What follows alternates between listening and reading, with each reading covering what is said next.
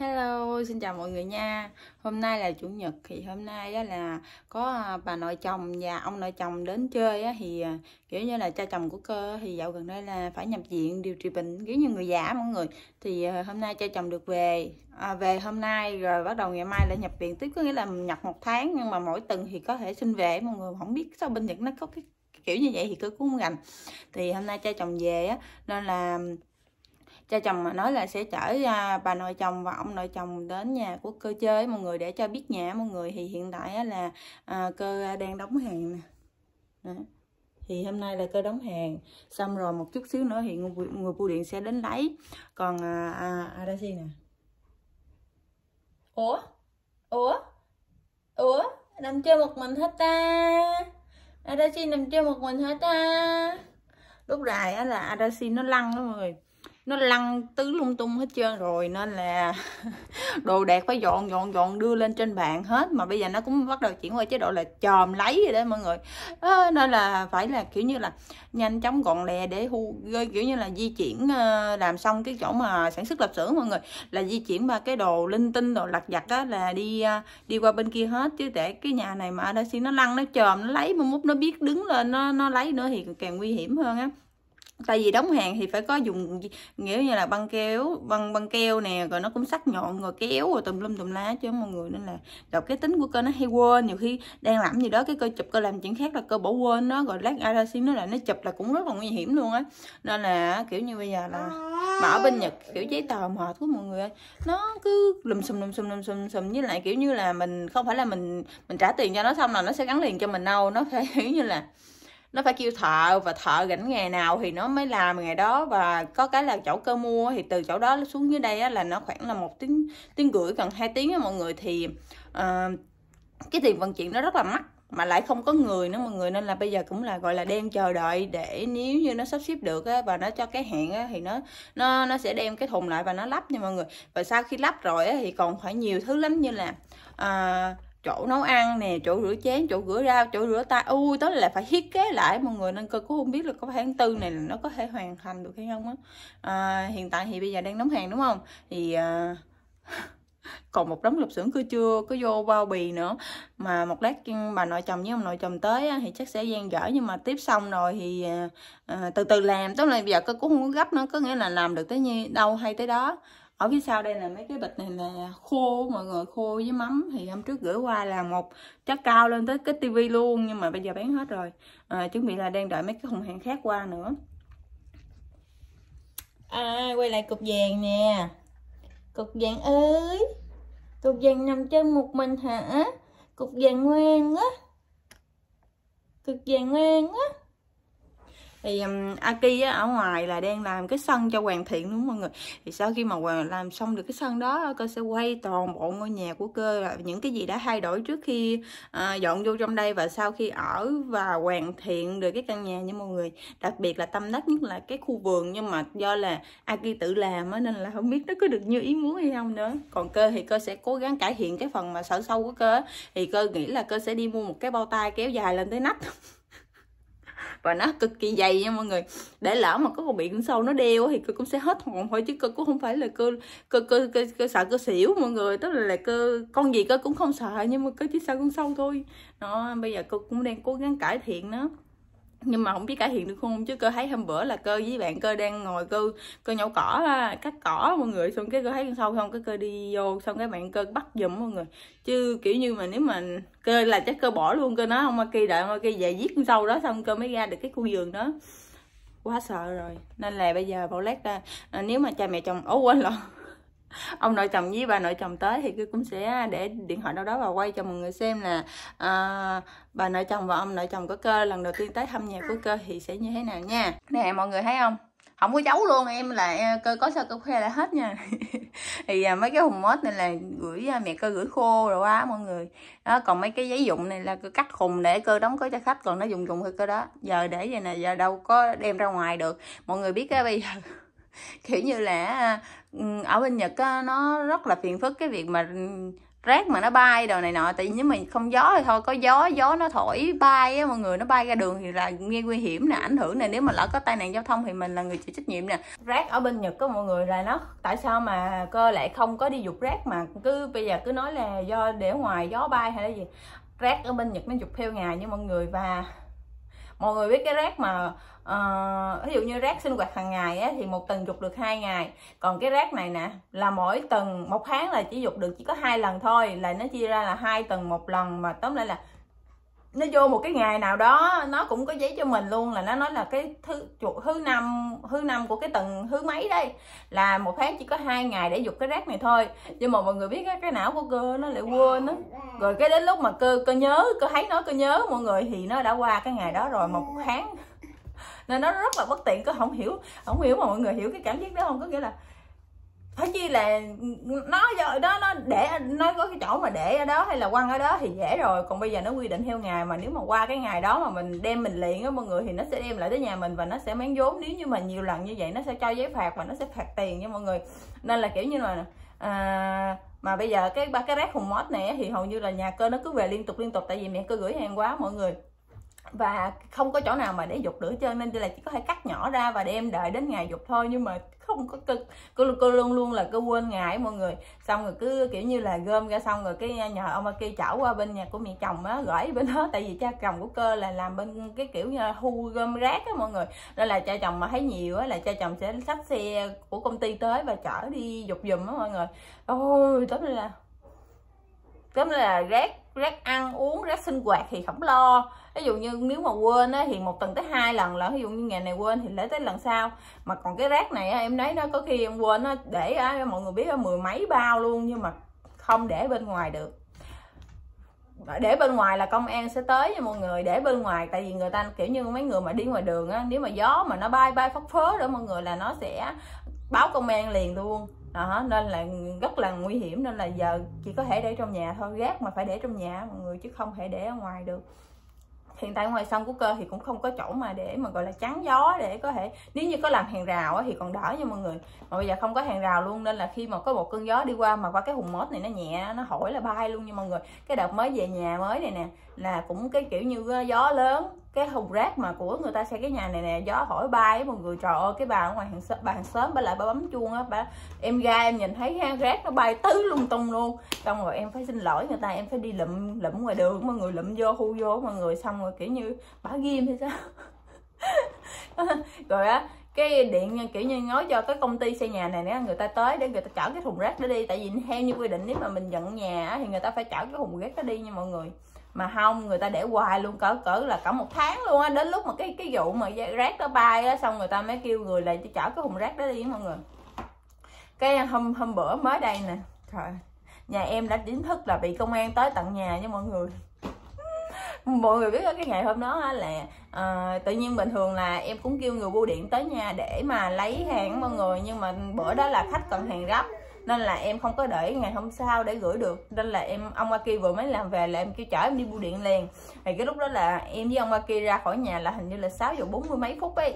Thì công an nó tới nhà hồi lúc là 6 giờ 50 mấy phút không kể nha, là đi ra xong rồi đi gửi đi về, xong ông Aki thường là em về tới nhà là ông sẽ chết thử cái à, cái chuông á mọi người, cái chuông bấm chuông á là nó có camera thì để coi là những ai đã tới hay là có người nào tới mà mà mình không có nhà không mọi người. Thì à, khi mà ông nhấn vô thì ông thấy ông thấy một cái hình. Sao sao?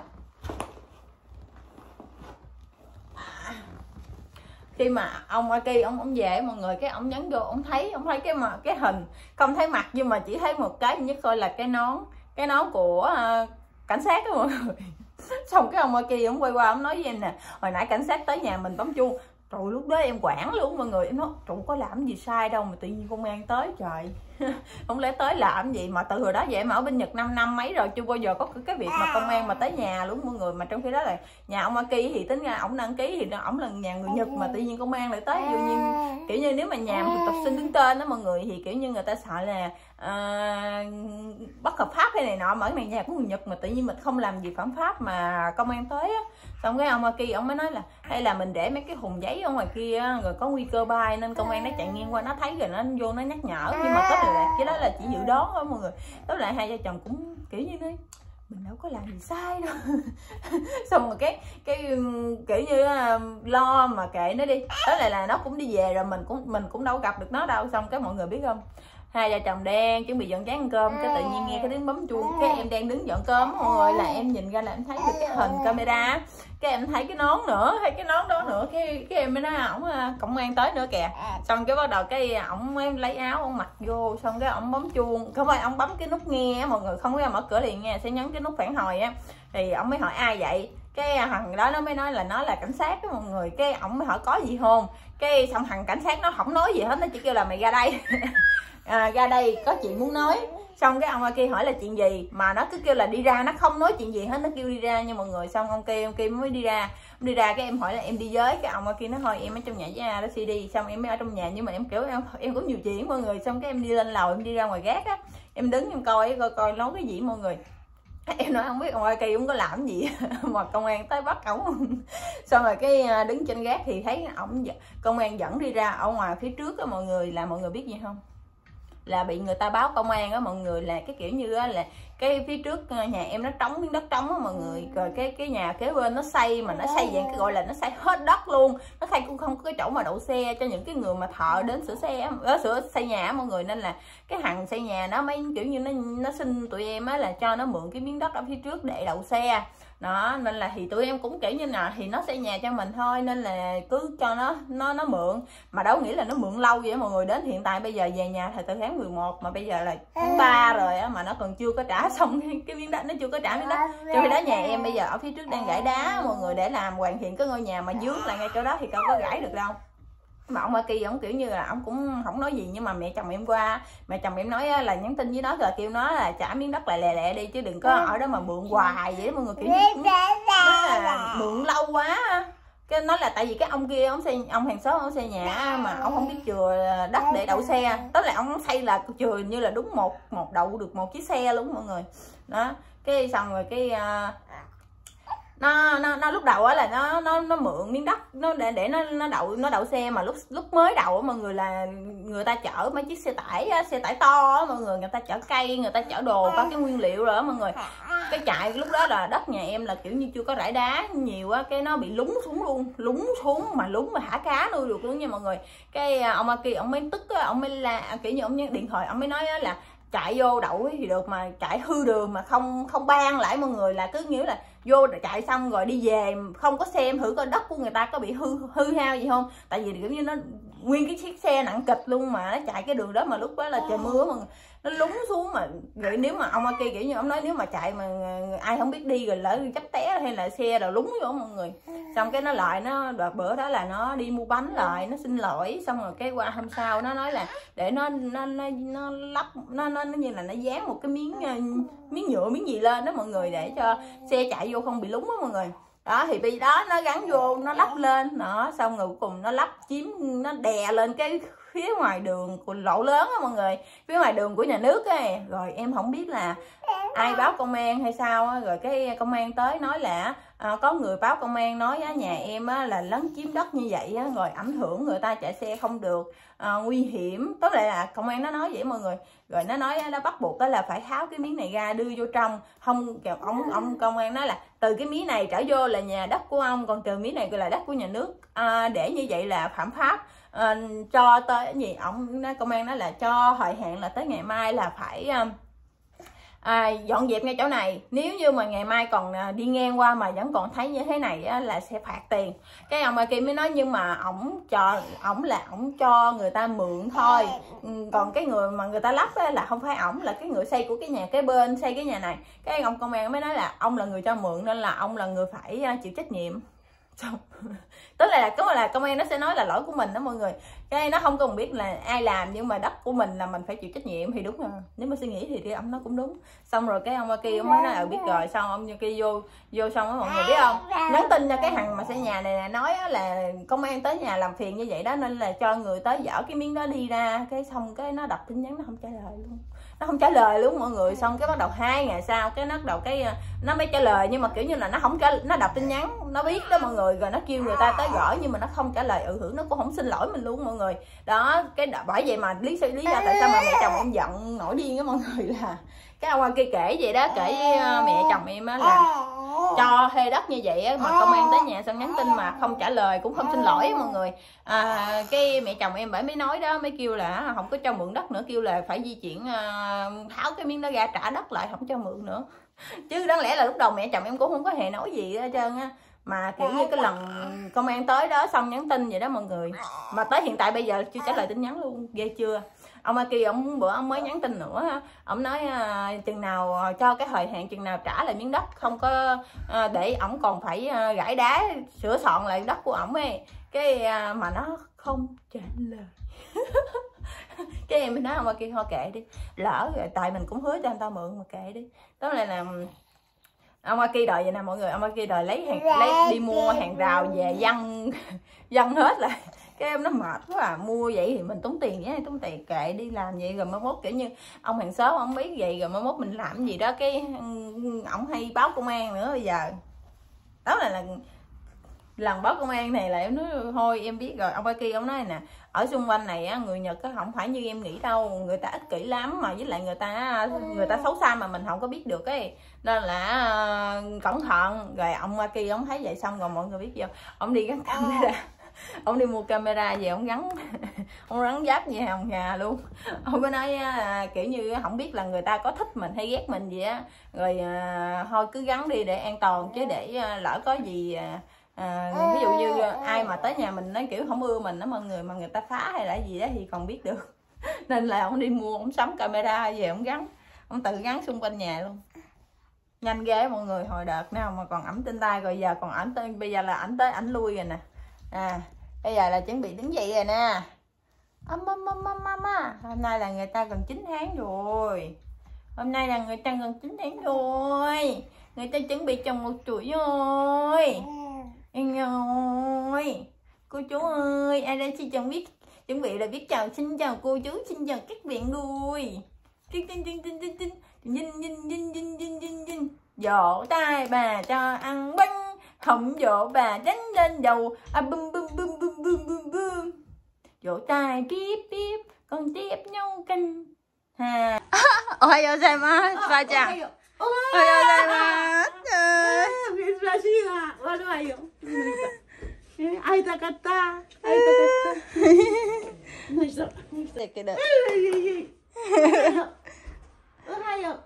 ai vậy ta ai vậy tới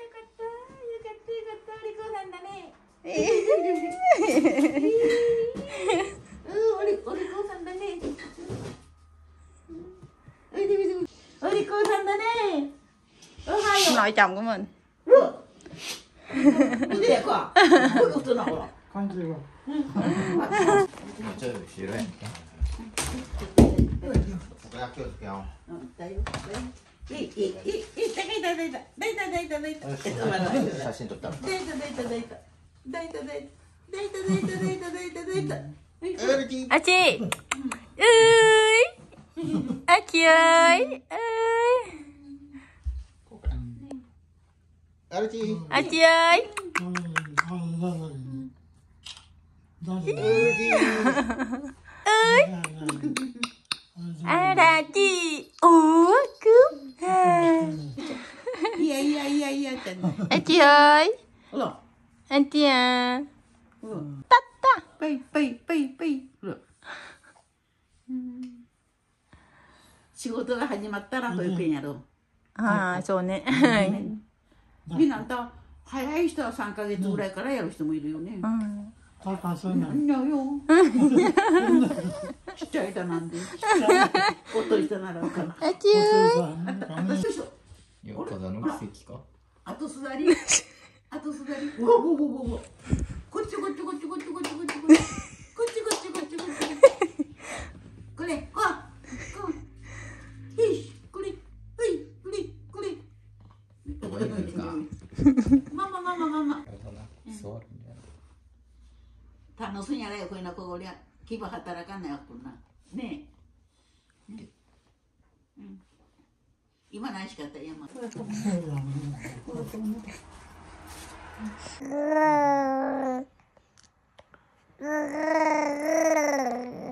あ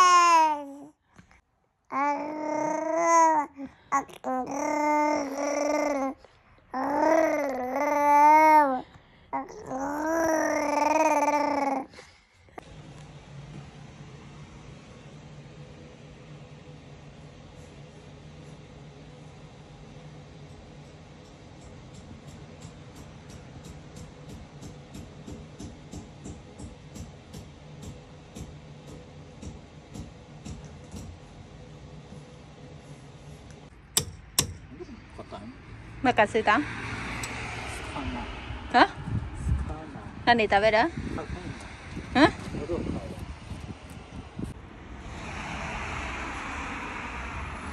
お腹すいたんお腹すいたん Sa, ska, ska, ska, Hả? se, se, se, わからな。うんじゃあ、俺やっ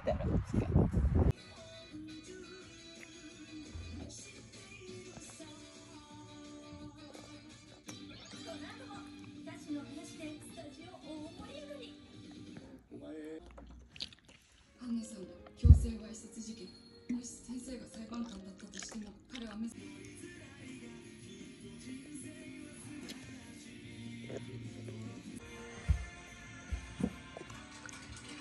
おいあちおい。